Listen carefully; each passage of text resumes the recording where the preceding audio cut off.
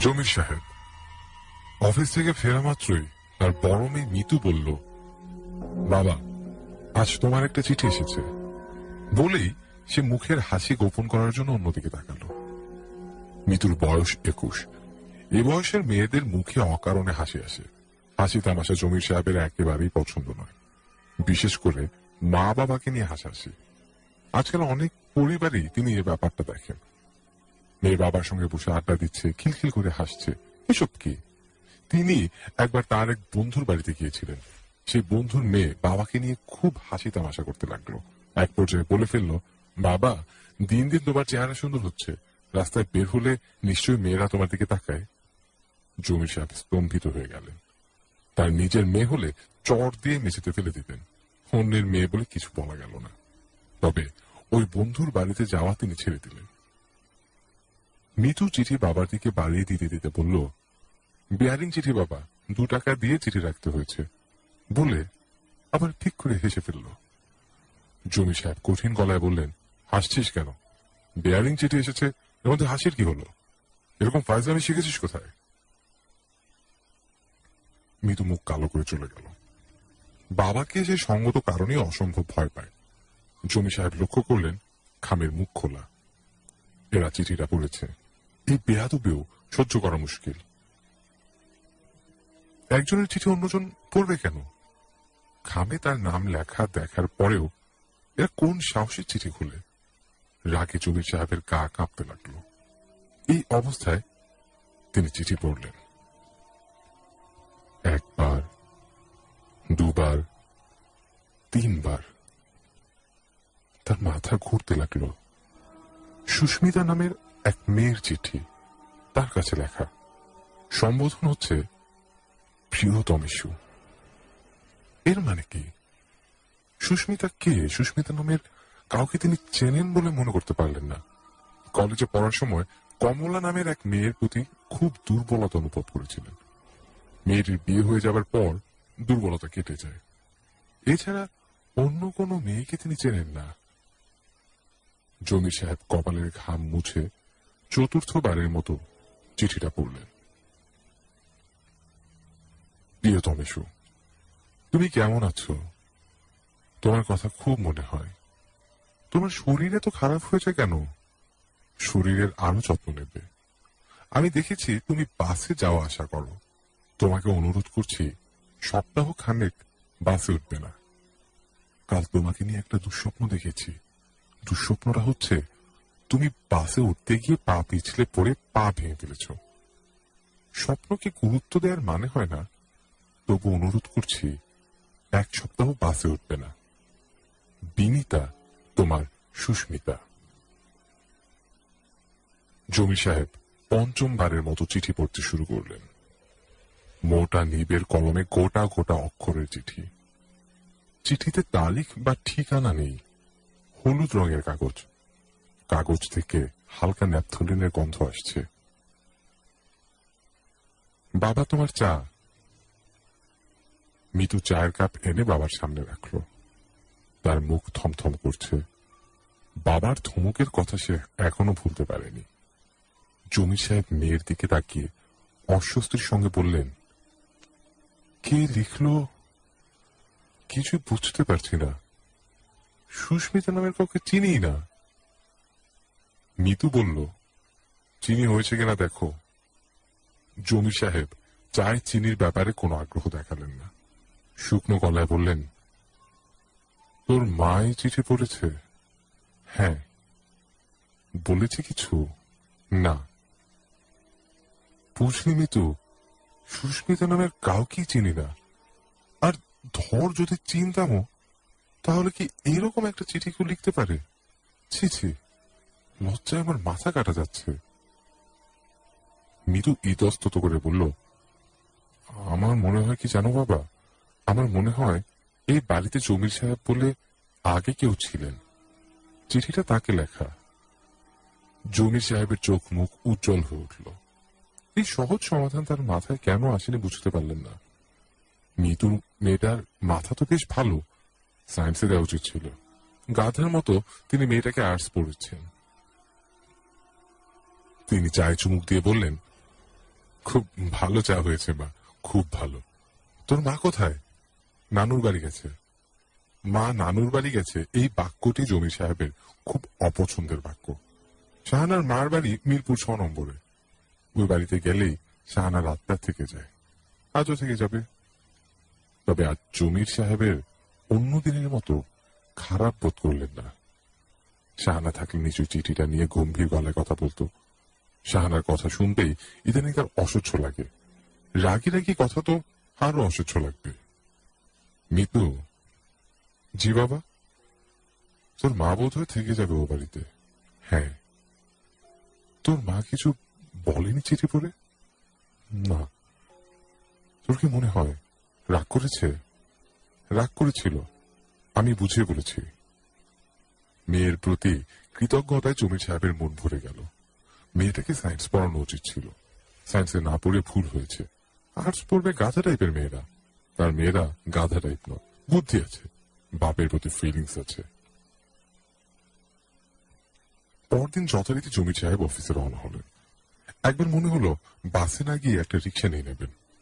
পর মুহূর্তে এই চিন্তা মন থেকে ঝেড়ে ফেললেন। ফালতু একটা চিঠি নিয়ে এত কিছু ভাববার কোনো মানে হয়? এইসব জিনিস প্রশ্রয় দেওয়া উচিত না।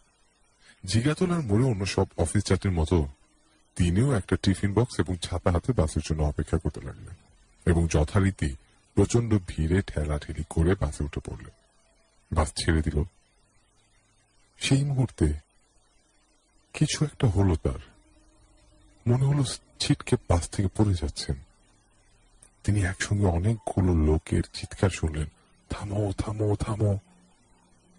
জমি সাহেব রাস্তায় ছিটকে পড়ে জ্ঞান হারালেন। জ্ঞান হলো হাসপাতালে। তার বাম পা হাঁটুর নিচে ভেঙেছে। এক জায়গায় না, দু জায়গায়। মিতু এবং শাহানা মাথার কাছে বসে আছে। দুজনেই কেঁদে বুক ভাসাচ্ছে।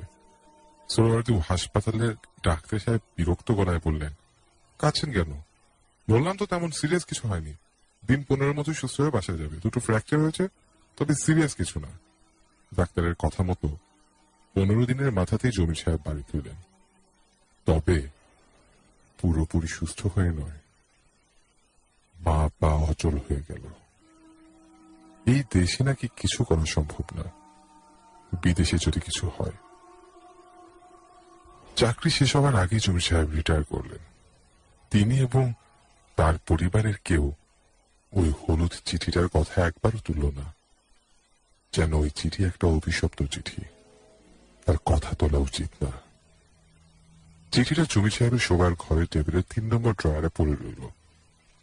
মাঝে মাঝে জমির সাহেব চিঠিটা বের করে পড়েন এবং তার অচল পায়ের দিকে তাকিয়ে থাকেন। সেই রাতে তার এক ফোঁটা ঘুম হয় না। কেমন ভয় ভয় লাগতে থাকে। চাকরি শেষ হওয়ার আগে জমি সাহেব রিটায়ার করলেন। তিনি এবং তার পরিবারের কেউ ওই হলুদ চিঠিটার কথা একবার তুলল না। যেন ওই চিঠি একটা অভিশপ্ত চিঠি। তার কথা তোলা উচিত না। চিঠিটা জমির সাহেবের শোবার ঘরের টেবিলের তিন নম্বর ড্রয়ারে পড়ে রইল। মাঝে মাঝে জমির সাহেব চিঠিটা বের করে পড়েন এবং তার অচল পায়ের দিকে তাকিয়ে থাকেন। সেই রাতে তার এক ফোঁটা ঘুম হয় না। কেমন ভয় ভয় লাগতে থাকে। নতুন বছরের গোড়াতে জিগাতলার বাসা উঠিয়ে উত্তর শাহজাহানপুরের সস্তায় একটা ফ্ল্যাটে তারা চলে গেলেন রোজগার কমেছে। এখন টাকা পয়সা সাবধানে খরচ করতে হবে। নতুন ফ্ল্যাটে দুটি মাত্র শোবার ঘর। একটাতে জমির সাহেব শাহানাকে নিয়ে থাকেন। অন্যটিতে মিতু আর তার ছোট বোন ইরা থাকে। জমির সাহেবের বড় ছেলে থাকে বসার ঘরে। একটা খাট বসার ঘরে গাদাগাদি করে রাখা হয়েছে। এই বাড়িতে মাস তিনেক কাটানোর পর আরেকটা পেয়ারিং চিঠি আসলো। আগের মতো গোটা গোটা হরফে লেখা। মোটা কলমের নিচ দিয়ে মেয়েলি অক্ষরে সুস্মিতা লিখছে, প্রিয়তম ইস্যু তুমি কেমন আছো? এত দুশ্চিন্তা করছ কেন? তোমাকে দুশ্চিন্তা করতে দেখলে আমার ভালো লাগে না। সংসারে দুঃখ, কষ্ট, সমস্যা থাকে। এত বিচলিত হলে চলে? মনে সাহস রাখো। আচ্ছা একটা কথা। তোমার বড় ছেলেটাকে কিছুদিন ঢাকা শহরের বাইরে রাখতে পারো না? আমার কেন যেন মনে হচ্ছে ও কোনো ঝামেলায় পড়ে যাবে। তোমাদের গ্রামের বাড়িতে ওকে কিছুদিনের জন্য পাঠিয়ে দাও না। ও যেতে চাইবে না। বুঝিয়ে সুঝিয়ে রাজি করাও। বিনিতা, তোমার সুস্মিতা। এবার আর সুস্মিতার চিঠি নিয়ে কেউ হাসাহাসি করল না।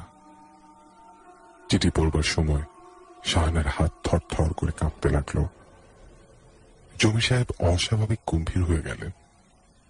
বড় ছেলে সুমনকে গ্রামের বাড়িতে প্রশ্ন ওঠে না, কারণ তার বিয়ে ফাইনাল পরীক্ষা শুরু হয়েছে। দুটো পেপার হয়ে গেছে। তবু শাহানা বললেন, থাক, পরীক্ষা দিতে হবে না, ওকে পাঠিয়ে দাও। জমির সাহেব বললেন, দরকার আছে বলে তো মনে হয় না। চিঠি পাওয়ার পরেও পনেরো দিন তো হয়ে গেল। হোক পনেরো দিন, পাঠিয়ে দাও। আমার ভালো লাগছে না। আচ্ছা বলে দেখো। যদি জিতে রাজি হয়, তাহলে যাক। সুমন যেতে রাজি হলো। শুধু যে রাজি হলো তাই না, তৎক্ষণাৎ যেতে রাজি। টাকা দিলে আজ রাতে ট্রেনে রওনা হয়ে যায়, এমন অবস্থা। ঠিক হলো সে সোমবার সকালে ট্রেনে যাবে। জমির সাহেবও সঙ্গে যাবেন।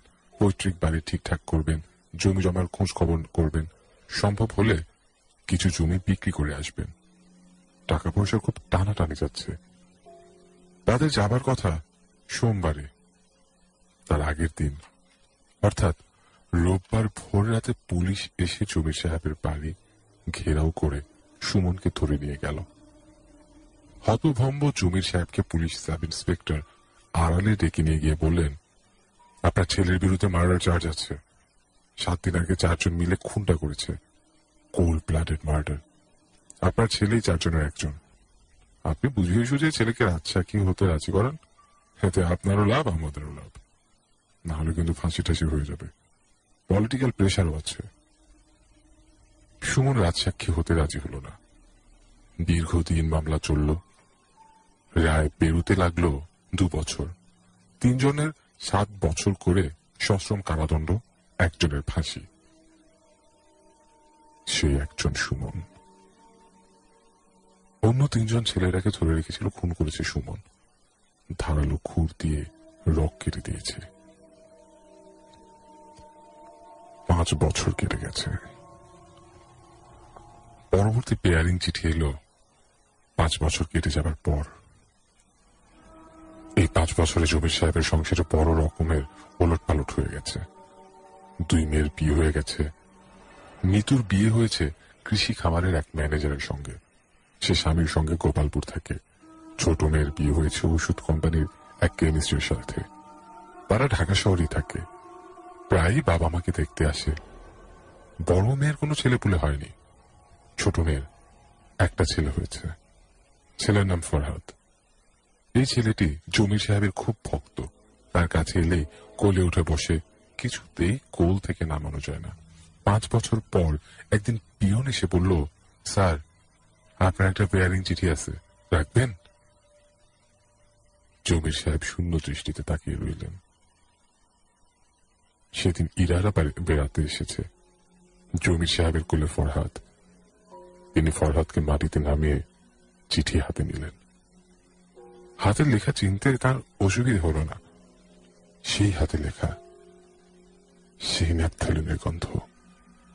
পিয়ন বলল, চার টাকা লাগবে। জমি সাহেব একবার ভাবলেন, বলবেন, চিঠি রাখব না। তিনি তা বলতে পারলেন না। যন্ত্রের মতো পকেটে হাত দিয়ে টাকা বের করে ফেললেন চিঠি পাঞ্জাবের পকেটে রেখে দিলেন।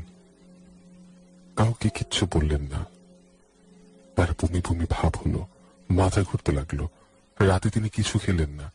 ইরাদের আসা উপলক্ষে ভালো মন্দ রান্না হয়েছিল। তিনি কিছুই মুখে দিলেন না। ইরা বলল, বাবা, তোমার কি হয়েছে? তিনি ক্ষীণ স্বরে বললেন, কিছু হয়নি। শরীরটা ভালো না। রোজই তুমি বলো শরীর ভালো না। অথচ একজন ভালো ডাক্তার দেখাও না। একটা ভালো ডাক্তার দেখাও, বাবা। দেখাবো। আর মাকেও একজন ভালো ডাক- ডাক্তার দেখাও। মেয়ে জামাই রাত নটার দিকে চলে গেল। ফরহাদ গেল না। সে নানার সঙ্গে থাকবে। সারা রাত জমির সাহেবের ঘুম হলো না। পরদিন হু হু করে গায়ে জ্বর এসে গেল। জ্বরের মূল কারণ কেউ বলতে পারলেন না।